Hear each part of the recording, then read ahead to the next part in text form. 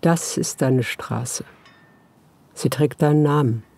556 Meter lang, 6,6 Meter breit, 50 km/h Höchstgeschwindigkeit. Hier kann man Brot, Gartenplatten und Versicherungen kaufen. Alles, was man zum Leben braucht.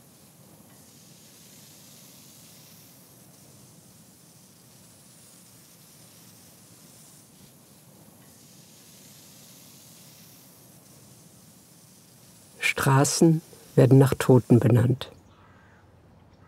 Du wurdest vier Jahre alt. Andere in deinem Alter bekommen Fahrräder oder Puppenstuben. Du hast eine Straße, nur weil du tot bist.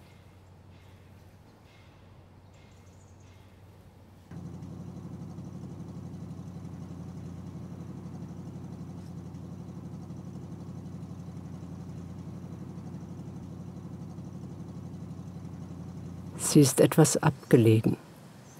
Im Zentrum der Städte sorgen Namen und Geschichten wie deine für Unbehagen.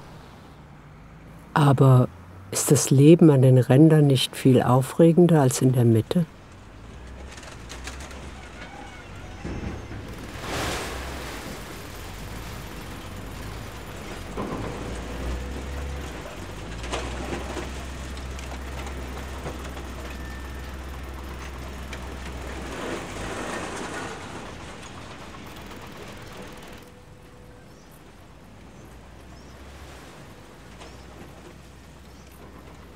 Es hätte dir gefallen, die versteckten Winkel zu entdecken und hier zu spielen.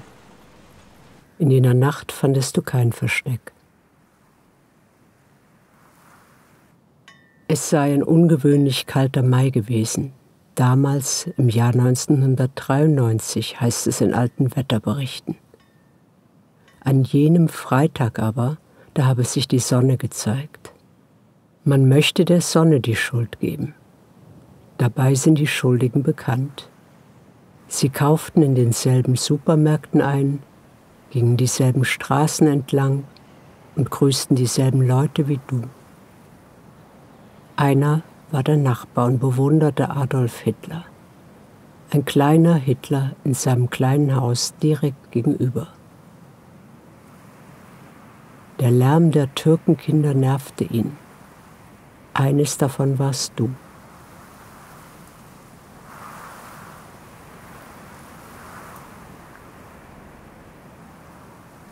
In der Nacht zum 29. Mai 1993 schrecktest du aus dem Schlaf, weil euer Haus brannte. Der Nachbar und seine Freunde hatten es angezündet. Fünf Menschenleben, deine Familie wurden ausgelöscht. Dir blieb die Wahl, zu ersticken, zu verbrennen oder aus dem Fenster in den Tod zu springen. Kinder sollten keine solch großen Entscheidungen treffen.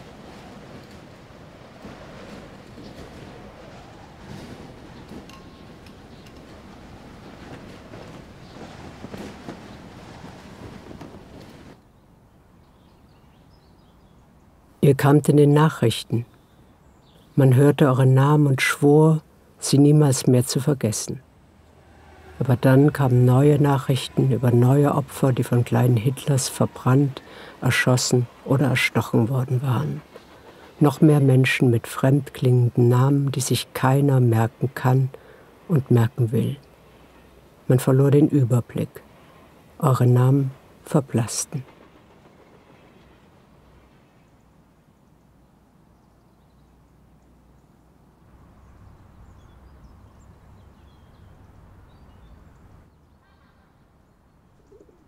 Jahre später dachte jemand an dich. Sein rastloses Herz gab keine Ruhe, bis man dir eine Straße widmete. So kamst du ins Niemandsland, das einen Namen suchte und deinen fand.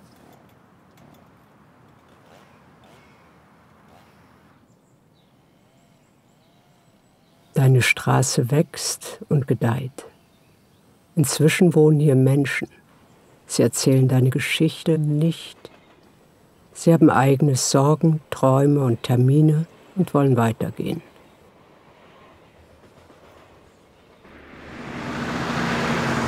Bald wird deine Straße eine unter vielen sein. Man wird hier essen und feiern, ersten Schultagen entgegenfiebern und ersten Küssen und letzten Versöhnung. Man wird hier wachen und sich zum Schlafen legen, in der trügerischen Sicherheit, dass morgen alles beim Alten bleibt.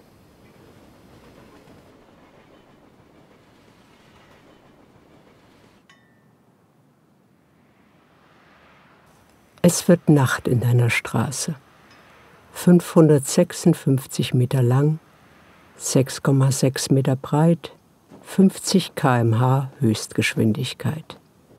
Benannt nach einem Kind, das für immer vier Jahre alt bleibt. Ewiges Leben in Asphalt und Gewohnheit.